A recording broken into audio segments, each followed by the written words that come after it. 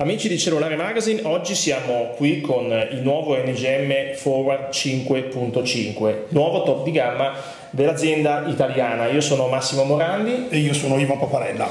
Eh, per un unboxing, per eh, curiosare subito, immediatamente, cosa c'è in questa, in questa, questa scatola nera. Intanto eh, vediamola esteticamente molto bella, molto curata anche nel design, la possiamo estrarre e già qui nella parte frontale troviamo eh, un po' una sorta di eh, didascalia della scheda tecnica eh, stilizzata, molto bella da vedere. Con un pochino di disegni dei progetti del telefono che troviamo dentro il box. Andiamo subito a vedere. E apriamolo e via. Allora, il protagonista è naturalmente il telefono, il Forward 5.5 eh, che deve il suo nome allo spessore. 5,5 mm fanno ad oggi mentre registriamo il telefono più sottile eh, disponibile sul commercio. Lo smartphone più sottile al più mondo. Sottile al mondo. Eh, lasciamo un istante da parte il telefono, eh, continuiamo con la descrizione della scatola, del contenuto della scatola e poi ci dedichiamo un istante al telefono. Abbiamo questa flip cover che naturalmente è preformata per il nostro nuovo NGM che ha anche la, la caratteristica con questo taglio nella zona posteriore di poter eh, lasciare il telefono in piedi in orizzontale. Confezione ricca si diceva, infatti esatto. anche in, seconda, in questo secondo box, in questo secondo cartone eh, c'è qualcosa di interessante. Gli auricolari, esatto, che sono degli auricolari in ear di una qualità medio-alta, proprio perché il telefono ha complessivamente una qualità, eh, una manifattura alta. Alta sicuramente. Li facciamo, li facciamo vedere. Qui. Allora, gli auricolari, come diceva Massimo, sono in ear e hanno anche la particolarità, la particolarità, di avere il cavo piatto, quindi che ha eh, una maggiore resistenza ad ingarbugliarsi su se stesso, anche questa è una grande comodità.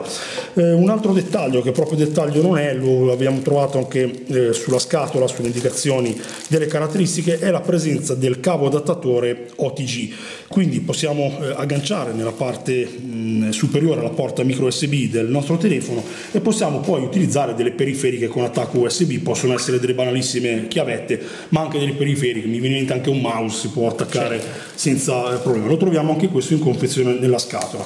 Naturalmente troviamo poi il, il, il cavetto di ricarica composito con il micro USB e poi tutta una manualistica, i certificati di garanzia al solito che troviamo nella, nella scatola. Non eh, ultima, ultima la classica spilletta che serve per estrarre la SIM, perché il telefono è monoscocca, la SIM la, la potete vedere qui e si apre il cassettino con la spilletta. La spilletta. Allora dedichiamoci a questo punto al protagonista eh, di questo unboxing, poi eh, tra qualche giorno vi proporremo anche una recensione un pochino più articolata. Eh, abbiamo già speso delle parole prima sullo spessore, rivediamo però questo spessore perché veramente è, è un, sembra incredibile, sembra finto da maneggiare, ma è veramente eh, impressionante. Oltretutto ha delle caratteristiche costruttive veramente notevoli, eh, vetro davanti, eh, vetro di dietro sono due lastre di, di Gorilla Glass, davvero un oggetto che appare prezioso a prescindere dal fatto che sia uno smartphone, è veramente eh, gradevolissimo da, eh, da, maneggiare. Lo scopriamo un po', eh, vogliamo ripetere le misure perché è comunque una cosa importante. Una cosa importante. Abbiamo 145 mm di altezza, 70,2 di larghezza e ribadiamo per la terza volta 5,55 mm di, eh, di spessore.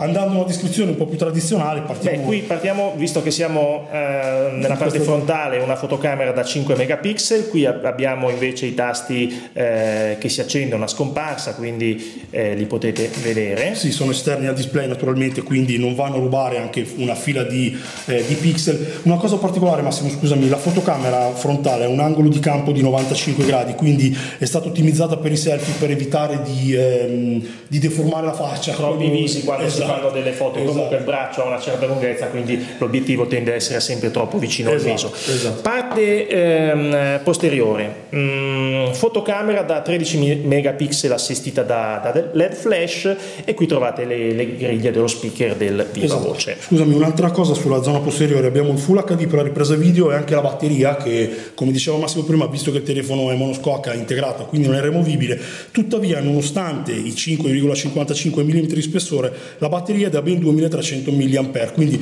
è una delle curiosità mh, che personalmente ho anche di questo telefono, vedere come si comporta eh, anche mh, in relazione all'autonomia, perché comunque con un telefono così piccolo non è semplicissimo anche ospitare una batteria di queste dimensioni. Infatti oggi abbiamo voluto farvi subito l'unboxing come lo smartphone è arrivato in redazione, nei prossimi giorni Ivan vi farà una vera e propria video recensione. Eh, ripetiamo, eh, Gorilla Glass eh, davanti, Gorilla Glass nella parte posteriore. Parliamo un attimo anche dell'hardware Massimo della, sì. in maniera più specifica, eh, un hardware di alto profilo, eh, il processore è il MediaTek Octa-Core 6592 eh, che si può spingere fino a 1,7 GHz di clock, quindi un processore estremamente generoso nelle prestazioni, oltretutto assistito da 2 GB di RAM, quindi è un profilo notevole, vediamo come si comporterà ma direi anche sulla scorta delle recenti esperienze abbiamo delle aspettative importanti. La memoria integrata da 16 GB eh, è abbastanza ovvio che visto il profilo del telefono non ci stia l'espansione di memoria, eh, i 16 GB sono comunque eh, parecchi, sono già eh, tanti così. Parte radio, giusto per finire la, la, descrizione, la parte radio può contare sull'HSDPA 21 megabit per quanto riguarda il download e 5.76 per quanto riguarda l'upload. Concludiamo rapidamente con uno sguardo all'interfaccia ehm, di NGM che ehm, è un'interfaccia che scorre tutto sul medesimo livello. Esatto. Ehm, nel, nella fattispecie, eh, vedremo poi con maggiore profondità nella prova le varie funzioni di, questo, di cui questo smartphone è dotato, ehm, vedremo anche la parte che eh, è secondo me molto importante relativa alla navigazione proprietaria di NGM, che permette comunque di, essere, eh, di poter sempre navigare anche offline, offline, quindi quando non si ha a disposizione una connessione internet o la connessione internet costa troppo, come succede spesso all'estero. Quindi